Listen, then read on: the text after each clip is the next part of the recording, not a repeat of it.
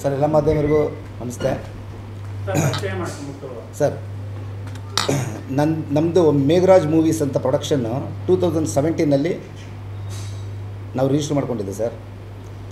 ಈ ಮೇಘರಾಜ್ ಪ ಮೂವಿ ಪ್ರೊಡಕ್ಷನಲ್ಲಿ ನಾನು ಫಸ್ಟು ಪ್ರೊಡ್ಯೂಸರ್ ಆಗಿದ್ದೆ. ಪ್ರೊಡ್ಯೂಸರ್ ಆದ ನಂತರ ನನ್ನದೇ ಆದಂಥ ಒಂದು ಕಥೆ ಇತ್ತು, ಒಂದು ಪೊಲಿಟಿಕಲ್ ಸಬ್ಜೆಕ್ಟ್ ಮಾಡಬೇಕಂತ. ಹಾಗಾಗಿ ಆ ಟೈಮಲ್ಲಿ ನಾನು ಒಬ್ಬರು ಡೈರೆಕ್ಟ್ರ್ ಬೇಕು, ಆ ಕತೆಗೆ ಸೂಟ್ ಆಗೋಂಥದ್ದು ಯಾರೋ ಒಬ್ಬರು ಡೈರೆಕ್ಟ್ರ್ ಬೇಕು ಅಂತ ನಾನು ಡೈರೆಕ್ಟ್ರನ್ನ ಹುಡುಕ್ತಾ ಇದ್ದೆ. ಇದ್ರ ಮಧ್ಯದಲ್ಲಿ ಸೋಸ್ಲೆ ಗಂಗಾಧರ್ ಅಂತ ಒಬ್ಬರು ಕತೆ ಕವನಗಳೆಲ್ಲ ಬರೀತಾರೆ. ಅವರು ನನಗೆ ಮಾವನ ಹೋಗಬೇಕು ಅವ್ರ ಮೂಲಕ ರ, ಆರ್ ರಂಗನಾಥ್ ಅನ್ನೋ ಒಬ್ಬ ವ್ಯಕ್ತಿ ನನಗೆ ಪರಿಚಯ ಆಗ್ತಾರೆ. ಪರಿಚಯ ಮಾಡಿಕೊಟ್ಟು ಏನು ಹೇಳ್ತಾರೆ ಅಂದರೆ, ಇವರು ಒಂದು ಅರಿವು ಅನ್ನೋ ಒಂದು ಸಿನಿಮಾ ಕಂಪ್ಲೀಟ್ ಮಾಡಿದ್ದಾರೆ. ಕೂಗು ಅಂತ ಇನ್ನೊಂದು ಸಿನಿಮಾಗೆ ಡೈರೆಕ್ಷನ್ ಮಾಡ್ತಾ ಇದ್ದಾರೆ ಅಂತ. ನಾನು ಅವತ್ತಿನ ದಿನ ಕೇಳ್ತೀನಿ, ಸರ್ ನಿಮಗೆ ಡೈರೆಕ್ಟರ್ ಆಗಿರೋರಿಗೆ ನಿಮಗೆ ಏನು ಡೈರೆಕ್ಷನ್ ಡಿಪಾರ್ಟ್ಮೆಂಟಿಂದ ಕಾರ್ಡ್ ಕೊಡ್ತಾರಲ್ಲ, ಯಾವುದಾದ್ರು, ನೀವು ಡೈರೆಕ್ಟರ್ನ ಅದಕ್ಕೆ ಒಂದು ಐ ಡಿ ಕಾರ್ಡ್ ರೆಫರೆನ್ಸ್ ಏನಾರು ಇದೆಯಾ ಅಂತ. ಆ ವ್ಯಕ್ತಿಗೆ ಏನಂತ ಉತ್ತರ ಕೊಡ್ತಾನೆ ಅವತ್ತು ಅಂದರೆ, ಸರ್, ನಾನು ಆಲ್ರೆಡಿ ಒಂದು ಸಿನಿಮಾ ಮಾಡಿದ್ದೀನಿ, ಇನ್ನೂ ಒಂದು ಸಿನಿಮಾನ ಡೈರೆಕ್ಷನ್ ಮಾಡ್ತಾ ಇದ್ದೀನಿ. ನನಗೆ ಡೈರೆಕ್ಷನ್ ಡಿಪಾರ್ಟ್ಮೆಂಟಿಂದ ಯಾವುದೇ ರೀತಿ ನನಗೆ ಕಾರ್ಡ್ ನೆಸೆಸಿಟಿ ಇಲ್ಲ ಸರ್. ಅದು ನಾಮಕಾವಸ್ಥೆ ಕೊಡ್ತಾರೆ, ಅದು ಬೇಕೇ ಬೇಕು ಅನ್ನೋದು ಕಂಪಲ್ಸರಿ ಏನಿಲ್ಲ ಅನ್ನೋ ಒಂದು ಉತ್ತರನ ಕೊಡ್ತಾರೆ. ಆಗ ಇದೇ ಮಾತನ್ನು ನಾನು ಮತ್ತೆ ಒಂದು ಸಲ ಕೇಳ್ತೀನಿ. ಹೌದು ಸರ್, ನನಗೆ ಕಾರ್ಡ್ ನೆಸೆಸಿಟಿ ಇಲ್ಲ. ನಾನು ಆಲ್ರೆಡಿ ಒಂದು ಸಿನಿಮಾ ಮಾಡಿಬಿಟ್ಟು ಡೈರೆಕ್ಟರ್ ಅಂತ ಅನ್ಸ್ಕೊಂಡಿದ್ದೀನಿ ಅಂತ ಹೇಳಿದಾಗ, ಸರಿ ಅಂತ ಹೇಳ್ಬಿಟ್ಟು ನಾನು ಫಸ್ಟ್ ಬ್ಯಾನರ್ ಆಗಿರೋದು ನನಗೆ ಇದು ಹೊಸದು. ಸಿನಿಮಾ ಲ್ಯಾಂಡೇ ಹೊಸದು. ಪ್ರೊಡ್ಯೂಸ್ ಮಾಡಿ ಪ್ರೊಡಕ್ಷನ್ ಮಾಡಬೇಕು. ಒಂದು ಒಳ್ಳೆ ಕತೆ ಇದೆ. ಆ ಕತೆಗೆ ತಕ್ಕಂತೆ ಒಂದು ನಿರ್ದ ಡೈರೆಕ್ಟ್ ಡೈರೆಕ್ಟ್ರ್ ಬೇಕು. ತೆರೆ ಮೇಲೆ ಅದ್ಭುತವಾಗಿ ನನ್ನ ಇಮೇಜ್ಗೆ ನಾನು ಏನು ಅಂದ್ಕೊಂಡಿರ್ತೀನಿ ಸ್ಟೋರಿ ಆ ಇಮೇಜ್ಗೆ ಒಂದು ಸ್ಕ್ರೀನ್ ಪ್ಲೇ ಬರಬೇಕು ಅಂತ ಹೇಳ್ಬಿಟ್ಟು, ನನ್ನ ಇಮ್ಯಾಜಿನೇಷನಲ್ಲಿದ್ದಾಗ ಈ ವ್ಯಕ್ತಿಗೆ ನಾನು ಕತೆ ಹೇಳ್ತೀನಿ. ಈ ಥರ ಪೊಲಿಟಿಕಲ್ ಸಬ್ಜೆಕ್ಟ್ ಇದೆ ಒಂದು ಮತದಾನದ ಮತ ಮಾಡೋದ ಬಗ್ಗೆ ವೋಟರ್ಸ್ಗೆ ಒಂದು ಒಂದು ಒಳ್ಳೆ ಮೆಸೇಜ್ ಕೊಡೋ ಥರ ಒಂದು ಸಬ್ಜೆಕ್ಟ್ ಇದೆ. ಮಾಡಬೇಕು ಅಂತ ಹೇಳ್ಬಿಟ್ಟು ಇದನ್ನು ಸ್ಟಾರ್ಟ್ ಮಾಡೋದು ನಾವು ಲಾಸ್ಟು ಎಲೆಕ್ಷನ್ ಆಯ್ತಲ್ಲ ಸರ್ ಯಾವಾಗ? Two thousand seventeen two thousand seventeen eighteen ಅನಿಸುತ್ತೆ. ಆ ಎಲೆಕ್ಷನ್ ಟೈಮ್ಗೆ ಈ ಸಿನಿಮಾ ರಿಲೀಸ್ ಆಗಿತ್ತು. ಯಾವಾಗ sir election nineteen sorry sorry sir ಆ ಇಲ್ಲ ವಿಧಾನಸಭೆ ಎಲೆಕ್ಷನ್ ಹೌದಾ. ಹೌದು ನಲ್ಲಿ ಬರಬೇಕು ಅಂತ ಹೇಳಿದಾಗ ಇವ್ರೇನು ಹೇಳ್ತಾರೆ, ನಾವು ಮಾತುಕತೆ ಸೆವೆಂಟೀನಲ್ಲಿ. ಸರಿ ಅಪ್ಪ, ಪ್ರಾಮಿಸ್ ಮಾಡ್ತಾರೆ ನನಗೆ. ನಾನು ಸಬ್ಜೆಕ್ಟಲ್ಲೇ ಹೇಳಿದ್ಮೇಲೆ ಇವರು ಬರ್ಕೊಂಡು ನನಗೆ ಒಂದು ಪ್ರಾಮಿಸ್ ಮಾಡ್ತಾರೆ. ಸರ್, ಸಿಕ್ಸ್ಟಿ ಡೇಸಲ್ಲಿ ಶೂಟಿಂಗ್ ಕಂಪ್ಲೀಟ್ ಮಾಡಿ, ಫಸ್ಟ್ ಪ್ರಿಂಟ್ ಕೊಡ್ತೀನಿ ತಮಗೆ. ಎರಡೂವರೆ ಕೋಟಿಗೆ ಬಜೆಟ್ ಹಾಕೊಂಬರ್ತಾರೆ. ಎಲ್ಲೆಲ್ಲಿ ಶೂಟಿಂಗ್ ಮಾಡ್ತೀರಂತ ಕೇಳಿದೆ. ಬ್ಯಾಂಗ್ಳೂರು, ಮೈಸೂರು, ಟಿ ನರಸೀಪುರ, ಮಾಗಡಿ, ಮತ್ತು ಇನ್ಯಾವುದಲ್ಲಿ ಮಾಡಿದ್ದು ಸರ್ ನೀವು? ಸೊಮ್ನ?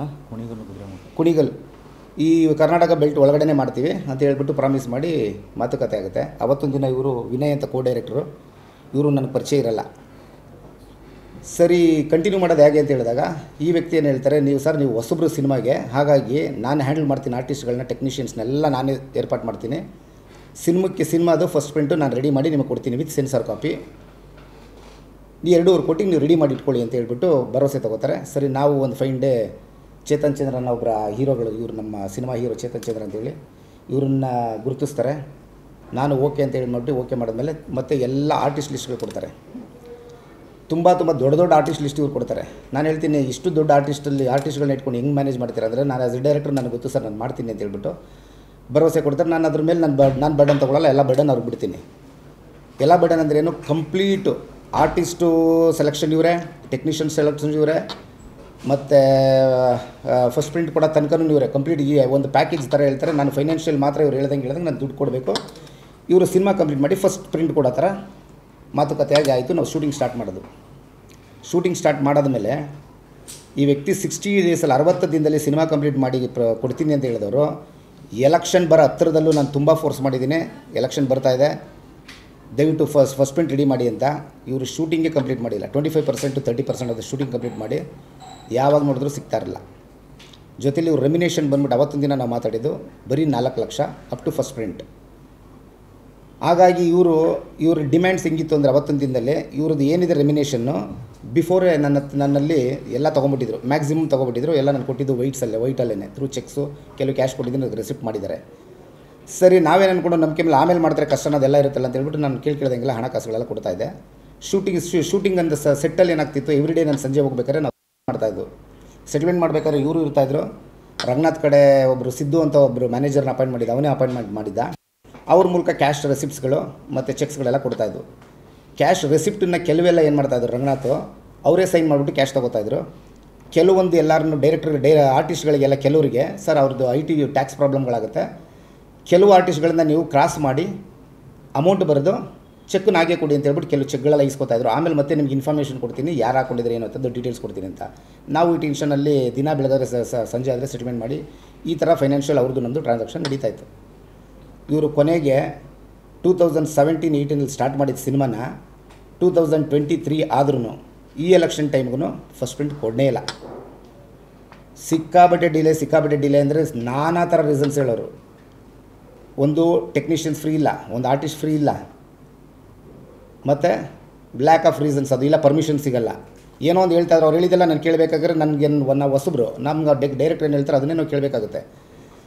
ಸೊ ಕೊನೆಗೆ ನನಗೆ ಇವ್ರ ಮೆಂಟಾಲಿಟಿ ಏನಂತ ಬಂದಿದೆ ಅಂದರೆ ನನಗೆ ಫೈನಾನ್ಷಿಯಲಿ ಫೀಡ್ ಮಾಡಿದ್ರೆ, ಇವರು ಎಲ್ಲನೂ ಅರೇಂಜ್ ಮಾಡೋರು ಶೂಟಿಂಗ್ ಸ್ಪಾಟಿಗೆ ಬರೋರು. ಫೈನಾನ್ಷಿಯಲಿ ನಾನು ಏನಾದರೂ ಸ್ವಲ್ಪ ಬ್ಯಾಕ್ಔಟ್ ಆಗಿ ಲ್ಯಾಗ್ ಆದರೆ, ಇವರು ವಾರಗಟ್ಟಲೆ ತಿಂಗಳುಗಟ್ಟಲೆ ಎಳ್ಕೊಂಡು ಹೋಗೋರು. ಸರಿ, ಇವ್ರು ಕಾಟ ತಡಿಲಾರ್ದೆ ನಾನೇನು ಮಾಡಿದೆ, ನಾವು ನಾವು ಪ್ರೊಡಕ್ಷನ್ ಗೊತ್ತಾ ಸರ್? ನಮ್ಮ ಹತ್ರ ಇಟ್ಕೊಂಡು ನಾವು ಬಂದಿರಲ್ಲ. ಪ್ರ, ಪ್ರತಿಯೊಬ್ಬ ಪ್ರೊಡ್ಯೂಸರ್ಗಳೂ ಸಿನಿಮಾ ಮಾಡಬೇಕು ಅನ್ನೋ ಆಸೆ ಇರೋರು ಇನ್ಕಂಪ್ಲೀಟ್ ಆಗಬಾರ್ದು ಬ್ಯಾನರ್ ಹೆಸರಾಳಾಗಬಾರ್ದು, ನಮ್ಮ ಹೆಸರಾಳಾಗಬಾರ್ದು ಅಂತ ಹೇಳ್ಬಿಟ್ಟು ಸಾಲ ಮಾಡಿ ಎಲ್ಲೋ ತರ್ತೀವಿ, ಸಿನಿಮಾ ಮಾಡೋಣ ಅಂತ. ಇವನಿಂದ ಹೊರಗಡೆನಾರು ಅಟ್ಲೀಸ್ಟ್ ಬರೋಣ ಅಂತ ಹೇಳ್ಬಿಟ್ಟು ನಾನು ಇವ್ನು ಕೇಳಿ ಕೇಳ್ದಂಗೆ ಎಲ್ಲನೂ ದುಡ್ಡನ್ನ ಫೈನಾನ್ಷಿಯಲ್ ಅರೇಂಜ್ ಮಾಡಿ ಈ ಸಿನಿಮಾನ ಬರೇ ಶೂಟಿಂಗ್ ಸ್ಪಾಟ್ ಶೂಟಿಂಗನ್ನು ಶೂ ಏನು ಶೂಟಿಂಗ್ ಕಂಪ್ಲೀಟ್ ಕಂಪ್ಲೀಟ್ ಮಾಡ್ತಾರಲ್ಲ, ಅದನ್ನು ತಂದು ಏಳು ಕೋಟಿಗೆ ತನ್ನಿಲ್ಲ. ಫಸ್ಟ್ ಪ್ರಿಂಟ್ಗೆ ಮಾತುಕತೆ ಮಾಡಿದ್ದು ಬರೀ ಎರಡೂವರೆ ಕೋಟಿ. ಈ ಅಪ್ಪ ಬರೀ ಕಂಪ್ಲೀಷನ್ ಆಫ್ ಬರೀ ಶೂಟಿಂಗ್ ಪಾರ್ಟಿಗೆ ಎಂಟು ಕೋಟಿಗೆ ತಂದು ನಿಲ್ಲಿಸ್ತಾರೆ. ಒಂದು ದಿನ ನಾನು ಲೆಕ್ಕ ಹಾಕಿದಾಗ ಅವ್ರು ಹೇಳ್ತಾರೆ, ಸರ್, ನಮಗೂ ಗೊತ್ತಿಲ್ಲ ಡೇಸ್ ಎಲ್ಲ ಕಿಲ್ಲಾಗಿದೆ ಎರಡೂವರೆ ವರ್ಷ ಕೊರೋನಾ ಬೇರೆ ಬಂತು. ಇದೆಲ್ಲ ಹೇಳಿದ್ರು. ಸರಿ, ಆಯಿತು, ಒಪ್ಕೊಂಡು. ಹೆಂಗೋ ಆಗಿದ್ದಾಗೋಗಿದೆ ನಾನು ಇನ್ವೆಸ್ಟ್ ಮಾಡಿಬಿಟ್ಟಿದ್ದೀನಿ ಹೊರಗಡೆ ಬರೋಣ ಅಂತ. ಈ ಕೊರೋನಾ ಟೈಮಲ್ಲಿ ಒಂದೇ ಒಂದು ಶಾಕಿಂಗ್ ನ್ಯೂಸ್ ಅಂದರೆ, ನಾನು ಎಲ್ಲಿ ತನಕ ಶೂಟ್ ಮಾಡಿರ್ತೀನಿ, ಅಲ್ಲಿ ತನಕ ಎಲ್ಲರ ಪೇಮೆಂಟು ಟೆಕ್ನಿಷಿಯನ್ಸು ಈವನ್ ಯಾರ್ದು ಅಂತಲ್ಲ ಸರ್, ಒಂದು ಟೀ, ಕಾಫಿ ಥರ ಅಂತ ಹುಡುಗರದೇ ಈಚೆ ಬಂದಿದ್ದೀನಿ. ಅದು ಅವ್ರಿಗೂ ಗೊತ್ತು, ನನಗೂ ಗೊತ್ತು. ಕೊರೋನಾ ಟೈಮಲ್ಲಿ ಏನಾಯಿತು, ಕೆಲವು ಆರ್ಟಿಸ್ಟ್ಗಳು, ಟೆಕ್ನಿಷಿಯನ್ಸ್ಗಳು, ಕೆಲವು ಹುಡುಗರುಗಳು ಎಲ್ಲರೂ ನನ್ನ ನಮಗೆ ಪೇಮೆಂಟ್ ಬಂದಿಲ್ಲ ಬಂದಿಲ್ಲ. ಇವನನ್ನು ಕೇಳಿ ಸರ್, ನೀವು ನೀವು ಕೊಟ್ಟಿದ್ದೀನಿ ನಾನು ಕೊಟ್ಟಿದ್ದೀನಿ ಕೊಟ್ಟಿದ್ದೀನಿ. ಇನ್ನು ಅವ್ರ ಕಡೆ ಪ್ರೆಷರ್ ಇವನ್ನ ಬಾ ಅಂದರೆ ಬರ್ತಿರಲಿಲ್ಲ. ಡೈರೆಕ್ಟ್ ಹತ್ರ ರೆಮಿನೇಷನ್ ಮಾತಾಡೋದು ಎಲ್ಲ ಹತ್ರ ಮಾತಾಡ್ಕೊಳ್ಳಿ ನೀವು. ನನ್ನ ತನಕ ಬರಬೇಡಿ ಅಂತ ನೀವು ಡೈರೆಕ್ಟಾಗಿ ಅಂತ ನಾನು ಹೇಳೋಕ್ಕಾಗಲ್ಲ. ಯಾಕಂದ್ರೆ ನಮ್ಮದು ಫಸ್ಟ್ ಬ್ಯಾನರ್ ನಾವು ಹೆಸರು ಕೆಡಿಸ್ಕೊಂಡ್ಬಿಟ್ರೆ ತಪ್ಪಾಗುತ್ತೆ. ಇವರು ಡೈರೆಕ್ಟರ್ ಆದವರು ಅವ್ರಿಗೆಲ್ಲ ಫೈನಾನ್ಷಿಯಲ್ ನನ್ನ ತನಕ ಕೆಲವು ಎಲ್ಲ ಪೇಮೆಂಟ್ಸ್ಗಳನ್ನು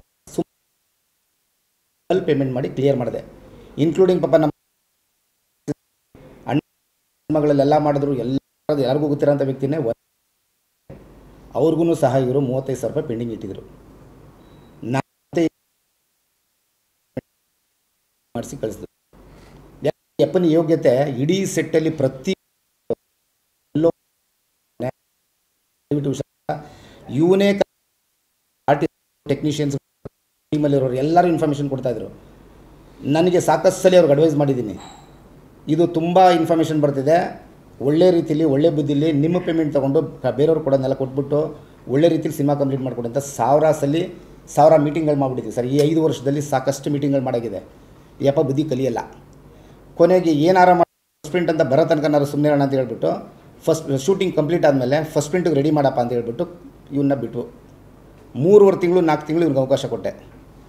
ಹಲವಾರು ಅವಕಾಶಗಳಲ್ಲಿ ಈ ರಂಗನಾಥನ ವ್ಯಕ್ತಿ ಡೈರೆಕ್ಟ್ ಬಂದು ನನಗೆ ಲಾಸ್ಟ್ ಏನು ಪ್ರಾಮಿಸ್ ಮಾಡಿದ್ದು ಅಂದರೆ, ಮೊನ್ನೆ ಕಬ್ಜಾ ಸಿನಿಮಾ ರಿಲೀಸ್ ಆಗ್ತಿತ್ತು ಸರ್. ಆ ಕಬ್ಜಾ ಸಿನಿಮಾಗಿನ ಮುಂಚೆನೇ ಈ ವಿನಯ್ ಅನ್ನೋರಿಗೆ ಕೋ ಡೈರೆಕ್ಟ್ರು ಮತ್ತು ಕೆ ಎಂ ಪ್ರಕಾಶ್ ಅವರ ಒಬ್ಬರು ಅಸಿಸ್ಟೆಂಟ್ ರುದ್ರೇಶ್ ಅಂತ ಅಸಿಸ್ಟೆಂಟ್ ಎಡಿಟರ್ ಇದ್ದಾರೆ ಇವರಿಬ್ಬರು ಸೇರಿಕೊಂಡು ಅದ್ಭುತವಾದಂಥ ಒಂದು ಟ್ರೈಲರ್ ಕಟ್ ಮಾಡಿದ್ರು. ಅದ್ಭುತವಾದಂಥ ಟ್ರೈಲರ್ ಎಷ್ಟು ರೀಚ್ ಆಯಿತು ಅಂದರೆ ಮಿಲ್ ಟೆನ್ ಮಿಲಿಯನ್ಸ್ ತನಕ ಇನ್ನೂ ಜಾಸ್ತಿನೇ ವ್ಯೂವರ್ಸ್ ಹೋಗ್ತದ್ದು ಯಾಕಂದರೆ ಇವ್ರು ಮಾಡಿರೋಂಥ ಕೆಲಸಕ್ಕೆ ಅವನು ಅಡ್ವಾಂಟೇಜ್ ತೊಗೊಂಡ ಮತ್ತೆ. ಆವತ್ತೊಂದು ದಿನ ಕರೆದೆ. ನೋಡಪ್ಪ ಟ್ರೈಲರ್ ತುಂಬ ಚೆನ್ನಾಗಿ ಬಂದಿದೆ. ಕಬ್ಜಾಗೆ ರಿಲೀ ಕಬ್ಜಾಗೆ ನಾನು ಟ್ರೈಲರ್ ರಿಲೀಸ್ ಆಗಬೇಕು. ಪ್ರೊಸೀಜರ್ ಅಂತ. ಪ್ರೊಸೀಜರ್ ಇಲ್ಲ ಸರ್. ಸೆನ್ಸ್ ಏನು ಮಾಡಬೇಡಿ, ನೀವು ದುಡ್ಡು ಎಲ್ಲ ಕಂಟೆಂಟ್ಸ್ ಕೊಟ್ಬಿಟ್ಟಿದ್ದೀನಿ ಅಂದ. ಟ್ರೈಲರ್ ಸೆನ್ಸರ್ಗೆ ದುಡ್ಡು ಕಟ್ಸ್ಬಿಟ್ಟ ಸರ್. ನಮಗೆ ಗೊತ್ತಿಲ್ಲ, ಕಟ್ಬಿಟ್ಟು. ಆಮೇಲೆ ಇವನು ನಾಪತ್ತೆ.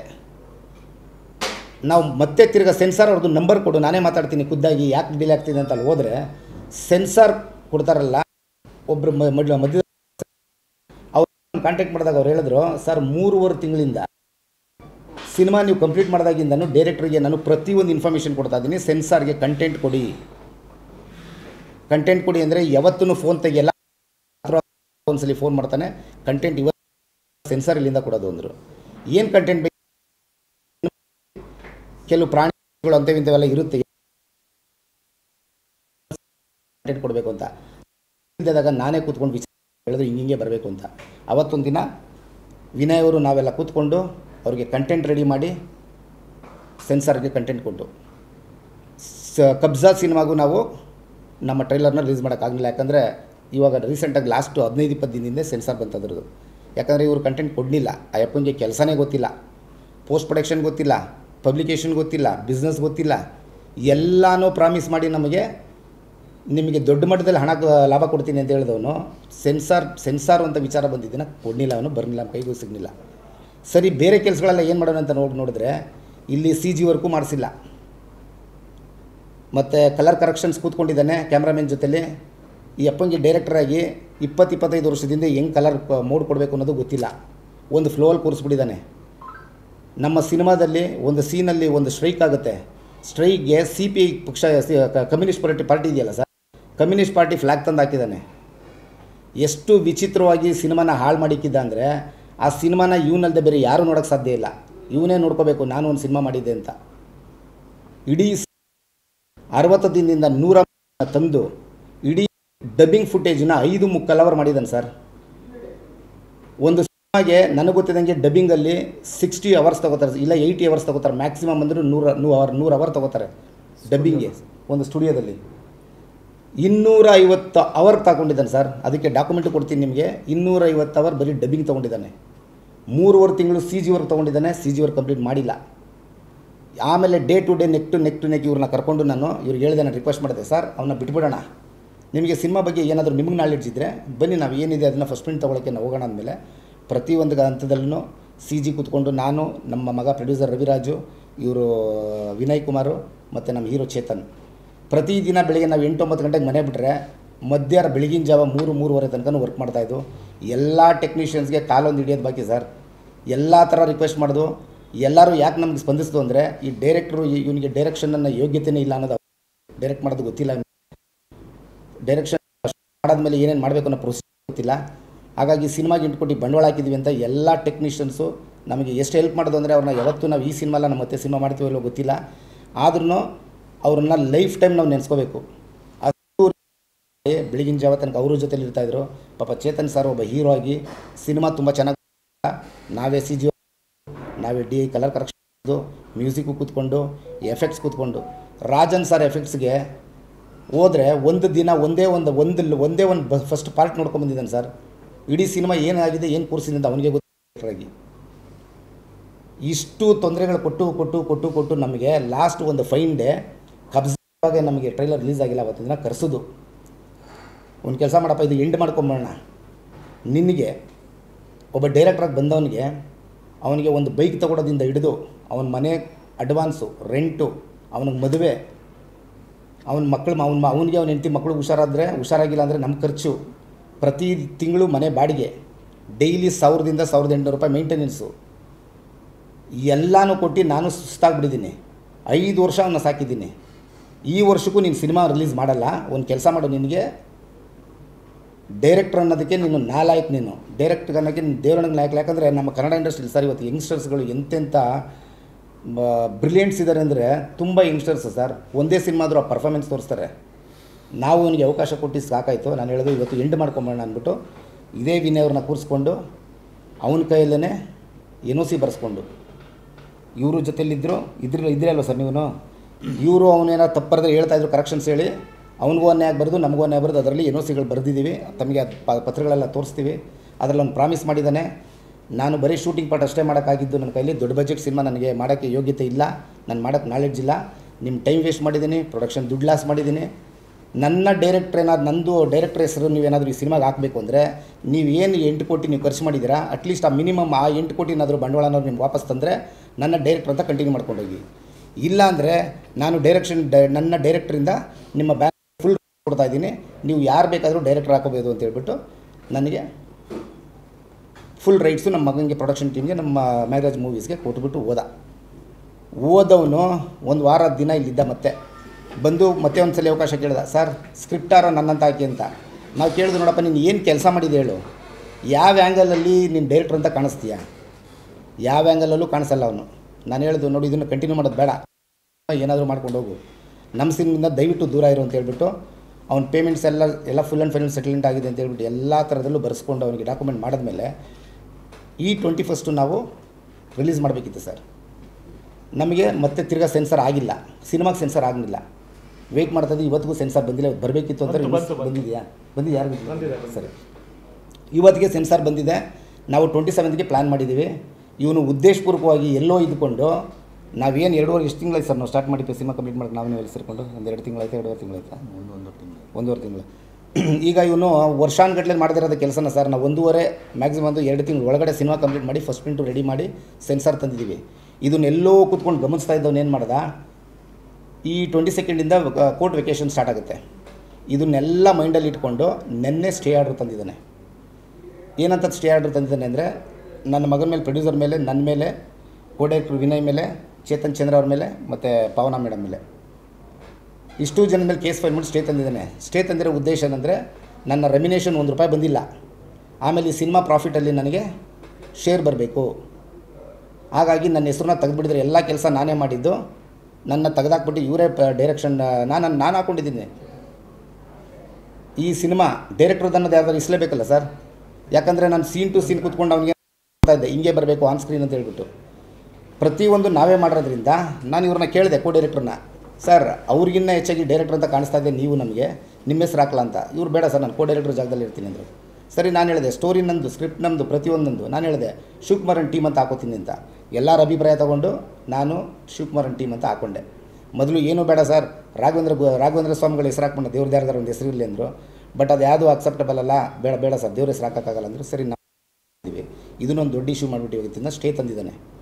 ಸ್ಟೇಲ್ ಏನು ಮಾಡಿದ್ದಾನೆ? ಕೋರ್ಟ್ಗೆ ಮಿಸ್ಗೈಡ್ ಮಾಡಿದ್ದಾನೆ. ಇವನು ನಮ್ಗೆ ಬರ್ಕೊಟ್ರ ಅಂಥ ಪತ್ರಗಳಿಗೆ ಯಾವುದನ್ನು ಅಡ್ವೊಕೇಟ್ಗಾಗಲಿ ಕೋರ್ಟ್ಗೆ ಅವ್ನು ಹೇಳಿಲ್ಲ. ಎನ್ ಒ ಸಿ ಕೊಟ್ಟಿರೋದು ನನಗೆ ರೆಮಿನೇಷನ್ ಕೊಟ್ಟಿಲ್ಲ, ನನಗೆ ಶೇರ್ ಬರಬೇಕು ಸಿನಿಮಾ ರಿಲೀಸ್ ಮಾಡ್ತಿದ್ದಾರೆ. ನಾನು ಈ ಸಿನಿಮಾನ ಈ ಲೆವೆಲ್ ತಂದು ಕೂರಿಸಿದ್ದೀನಿ ಅಂತ ಹೇಳ್ಬಿಟ್ಟು ಎಲ್ಲ ಥರದಲ್ಲೂ ಡ್ಯಾಮೇಜ್ ಮಾಡಿ ಇಟ್ಟಿದ್ದೇನೆ ಸರ್.